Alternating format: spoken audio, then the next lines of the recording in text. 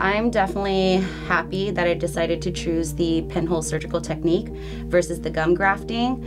For me, um, I went to my regular family dentist, and when he saw the excessive receding that I had, he had educated me on the traditional gum grafting. And then he recommended Dr. Chao. And I was like, who is he? and he explained that Dr. Chao um, does this pinhole surgical technique. And as he explained it, um, it intrigued me.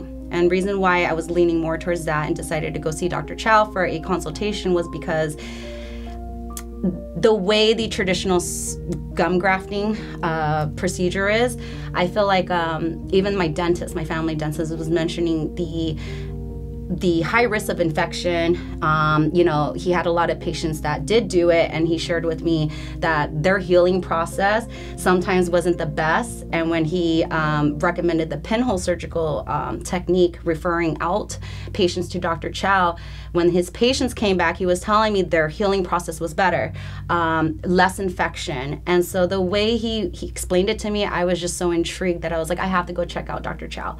And um, sure enough, when I came here, he explained everything from beginning to end. I have to say the staff is amazing as well. They made me feel comfortable.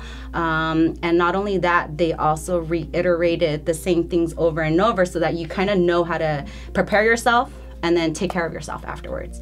And so I'm really happy with the decision um, with the pinhole surgical technique.